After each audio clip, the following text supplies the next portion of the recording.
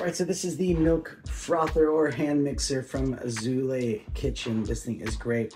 Comes with this nice stand as well, so you can easily just pop this thing off and then set it back down, just creating less of a mess. But what this is gonna do is just froth your milk in your coffee or, you know, just get that foam that you want. Really easy to hold it with your finger right here, and then you hit the button to start it. So you're gonna spin that thing around. You're gonna put this thing in your uh, milk or whatever you want to mix and you're just going to do that for three to ten seconds. It's very simple it feels easy on your hands and takes a single double a battery. So it looks great feels great works and makes some great uh, beverages. So highly recommend it and thanks for watching. Now, right.